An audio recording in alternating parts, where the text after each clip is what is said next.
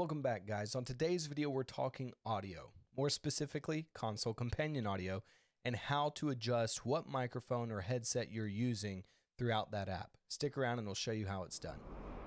All right, we're diving straight into the console companion app. If you haven't seen our earlier video on how to actually install and stream using this software without a capture card, the link is going to be above or down in the description below. Go watch that and then pick up here where you left off. If you've already seen that, on your left-hand side, you'll notice a little cogwheel on the bottom. That's where we want to click on, and that's the settings option. If you start to scroll down, you'll see a section called Party, and under that, you'll see Speaker and Microphone.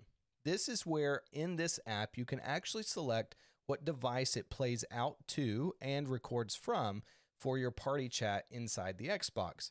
If you notice, mine is set to default device, and you can change that to any other device that you have listed as an option currently on the computer. I'm going to go ahead and open my actual sound settings for my PC, and what you'll find here is if you notice my standard device is speakers, which is actually the headset that I stream through, and then for my microphone, it's line in, it's actually this XLR mic here.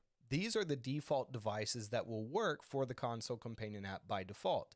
Now, if you want a secondary microphone, because maybe you want to be able to talk to your stream and your party separately, you don't want to use the same mic, so that way you could mute one or the other when talking to the other. You can use a USB type desktop mic, or the other option would actually be to use an actual Xbox headset plugged directly into your Xbox controller.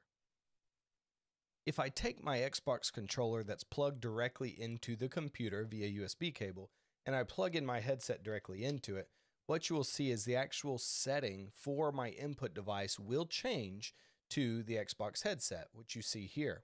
My speakers don't change by default, but if I choose the drop down, I could select Xbox controller headphones here as well.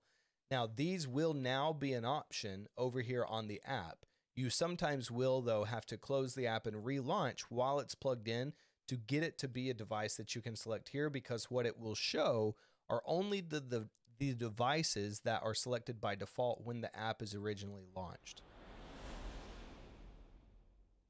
Once you have the devices selected that you want to use for your input and output, go ahead and choose the connection field, which is right above the cogwheel, and then we're going to go ahead and select stream to launch the Xbox.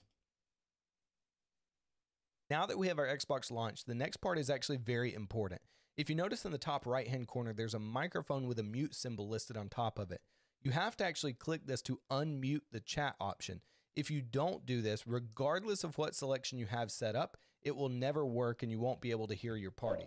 So what you'll see if I come over and start a party, it will show my little icon for my gamer tag and then it puts a ring around my my logo.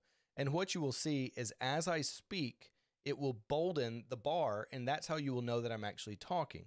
As I get quiet, the bar goes smaller, and that's how you can tell that it's reacting to the voice that's coming through. Now, the way that you know your headset is working is you can actually hear the sound when you use your joysticks and mouse around, or if you actually join into a party, you will hear your party chat talking through this. Now you're actually ready to go and everything's set up. All right, guys, thanks so much for sticking around. Hopefully, these few tips helped. One thing I have noticed is typically the default device for your computer works best. So, even though you can change it under the settings in the app, if it doesn't update once you choose the drop down box, sometimes just make sure you relaunch the Console Companion app or even restart your computer to get it to update accordingly. If you have any other questions that I haven't answered today, please leave them in the comments below and we'll definitely try our best to help you out. And if it did help, smash that like button. And if you haven't already, subscribe to the channel and we'll catch you on the next one. Have a great day, guys.